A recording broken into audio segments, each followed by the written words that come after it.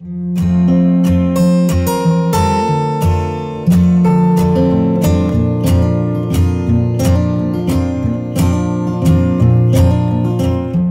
guys, so before we get started, I am going to put a disclaimer that I am no sort a beauty guru. I barely know how to do my own makeup, but I saw Katherine Steele do this on her YouTube channel, which she's all about Broadway and all musical things. So she would actually recreate some Broadway characters and do like their makeup and stuff. So today I thought I'd do Annabeth Chase, which I know she probably wouldn't wear makeup, but like if you're gonna go out and, and cosplay as her, I feel like some people are going to want to. Yeah, I thought this would be kind of fun. So let's just get into it and see see how this goes. I have no idea how this is gonna go. I feel like Annabeth does not wear makeup anyways, but for the purpose of this video, we're gonna do some natural makeup. Okay, so I only prime my face when I have a dance competition, so I'm just not gonna do that today. Like, you can prime it if you want to. See, y'all, I literally have no idea what I'm doing.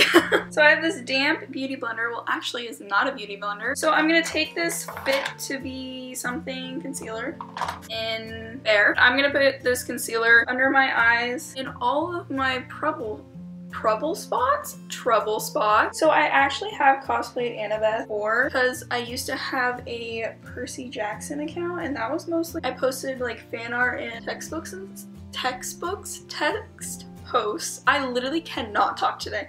Wow, okay. So I would post like text posts and just like stuff like that and I had that account for a while and then I just kind of grew out of it and that's when I like started getting more into bookstagram and stuff. So I did do a little bit on there but like not much but I followed like a lot of cosplay people and like some of my favorite Annabeth ones are probably Madison who does Aletheia cosplay. I don't know say that name. It's a Greek name that she chose, but then people found out her real name. I also love Architect of Olympus, which I've been following her since the very beginning and I still love her most and she's been going out of the Annabeth thing too and cosplaying other people. So I've really enjoyed seeing that. I think those are like the main two that I still follow to this day. Now I'm going this Jane Iredale powder. There's literally no markings on this, so it's just a powder. And I'm using this brush that says an S and a K on it. This is like an actual disaster. I saw Katherine Steele's uh, videos um, because she would do like Broadway related ones and I've been watching her for like a few months now. I decided it would be fun to start doing that with book characters even though I literally know nothing about makeup, but that's fine. I kind of want to start with Annabeth because Percy Jackson's what started it all for me. So to just do that once again and maybe this will become a recurring thing. So I'm taking this bronzer brush from the SK thing again. I'm pretty sure this brush set that I'm going to be using is from Target and this is also from Target. It is This is a Physicians Formula Butter Bronzer. So what I really love about Annabeth, and like I said this on an Instagram post, so what I said I really loved about her was how she's so freaking strong and when I first started reading this was back in elementary school and that was like one of my childhood series. I have a video like of all the childhood books that really got me into reading. So this was definitely one. Back then, it was still the running joke that if you were blonde, you were not smart. You were just a stupid blonde. And so I would always try my hardest to prove people wrong. And I think once Annabeth Chase came into play, people really started to realize that that is just some stupid stigma that's not true at all. So next I'm going to go into this Anastasia Beverly Hills Brow Wiz in the shade Blonde and I'm going to brush out my brows. I normally do not fill them in so I'm probably not really gonna fill them in. I think this is still Anastasia, the clear mascara. All of the writing has rubbed off on it. I use this every day, even when I don't do my makeup. It really keeps your eyebrows into place. Next, I think I'm gonna do makeup. So I'm gonna use this Urban Decay eyeshadow primer potion in the anti-aging one because I was looking for a primer potion and I wanted the Urban Decay one because I've tried them out and I really liked them. And I tried this one out and I liked it, but they didn't have the other one. Oh my gosh, they didn't have like the other one that I was looking for because they were all out. So I just decided to get this and it's worked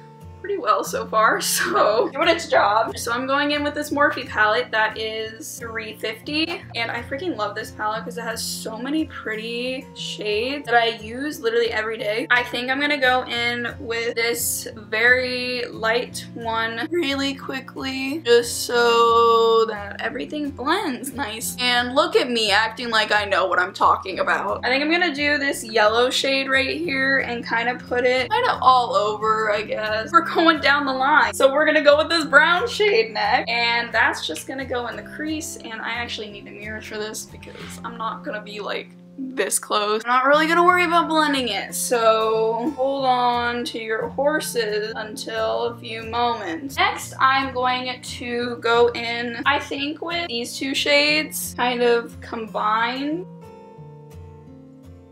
So I have loved the Percy Jackson series for so freaking long now that it's actually kind of insane. And I credit this series for getting me into the whole book community because if I had not made that account, I literally would have no idea what booktube was or what bookstagram was. I'm just gonna go in with Soho and it's just like a fluffy brush to blend it. But if I didn't read this series when I did. When I was younger, it like would not probably have has had like such like an incredibly huge impact on me like it did because it came to me in the perfect time and at my school it was like a pretty popular series and I'm really happy that it was because it taught so many good lessons. So next I'm going to take this kind of shimmery shade next to like the white. When it comes onto your eyelids it's not really that shimmery so I'm just going to do that so it blends so everything kind of blends in nicely. Next, I go in with this Becca highlighter that is actually broken and it is in the shade Moonstone. Dropped on the ground, so now it's shattered. But we're gonna do this on all the primary highlighting spots that you would normally do. um, I'm also doing this in a really weird order because I'm kind of forgetting everything that I normally do. And I'm gonna go in with Butter Blush from Physicians Formula. Next, I'm going to be putting on this Pacifica mascara and I only bought this because I ran out of my other one and this is what they had at the store. So that's what I've been using. And I don't put mascara on my bottom eyelashes because I have such long eyelashes that it literally will look like I have a spider on my eyes. So basically I just kind of enhance natural features. But I got this shirt off of Amazon and it's pretty nice but there's like a hole in it somewhere on the side. Yeah there's a hole in the armpit but like I've had it for like quite a few years. I guess it's kind of due for a new one. Plus you can make ones too so maybe I'll make one and film it or something. So that is it. Uh, what I do when I cosplay her, which isn't that often. I don't have a Camp Half-Blood necklace, so oh well about that, but that's fine. So that is it for this, and I hope you guys enjoyed it, and let me know if you want to see other characters, because that would be actually really fun. Thank you guys so much for watching. I hope you enjoyed this, and I will see you next time. Bye guys. And I forgot to mention that the uh, gray hair streak, I don't know how to do that. I've never done that before, but I know Architect of Olympus has, and I think you could probably just get like spray hair dye or something like that that would come out once you take a shower. I'm pretty sure that's probably a thing just like most things are. Yeah, this is a really shaky video. I apologize, but I just had to pop in and say that about the gray hair streak.